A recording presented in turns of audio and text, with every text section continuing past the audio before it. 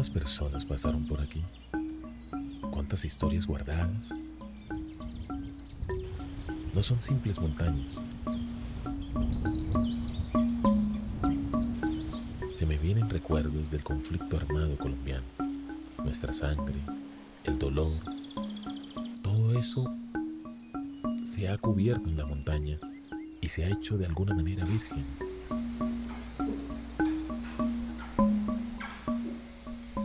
Sí, lo peor de nosotros ha hecho posible conservar lo mejor de nosotros.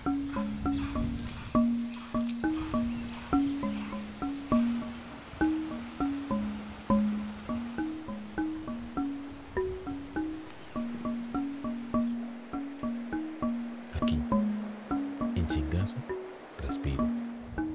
Logro ver y percibo el todo aún por descubrir.